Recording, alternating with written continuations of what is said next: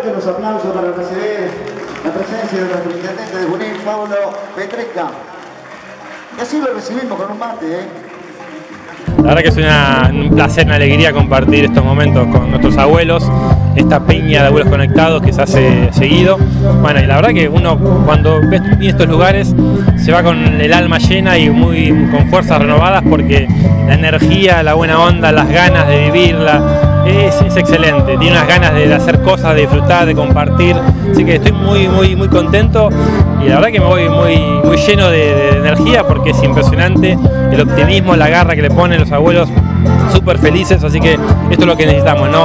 Eh, abuelos, vecinos, argentinos felices, esperanzados de que podemos estar siempre mejor. Y bueno, en este lugar la verdad que es un clima espectacular. He estado siempre acompañando con, diversas actividades, ya también me llevo una lista larga de pedidos, también muchos, muchas felicitaciones porque en cada lugar que, hablaba con ellos eran de algún X barrio con alguna mejora, así que me agradecían por las mejoras que estamos haciendo también y la transformación que estamos haciendo en la ciudad. Así bueno, me voy muy, muy contento, como decía, muy lleno de, alegría de esperanza por, por tanta buena onda que se dio aquí.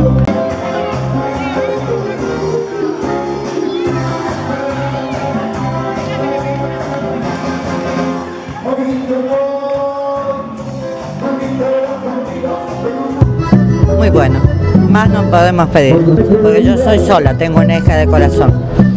Y la llama, le preguntan cómo anda. Sí, sí, estuve depresiva también.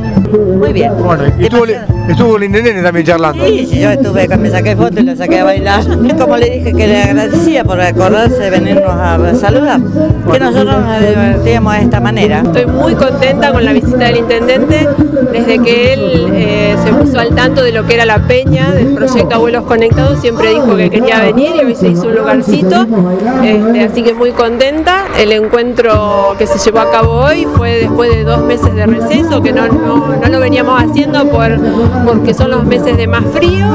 Eh, hoy se está llevando a cabo en Tejo el Galpón, así que agradezco a, a y a Néstor Di Pierro que nos eh, cedieron las instalaciones para poder llevar a cabo el encuentro.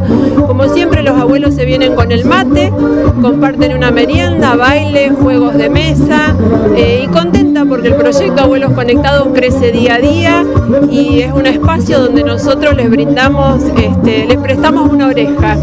Eh, es un espacio de escucha donde ellos manifiestan todas sus necesidades, sus tristezas, sus alegrías y nosotros trabajamos desde la Dirección de Adultos Mayores en base a eso, a la particularidad de cada uno.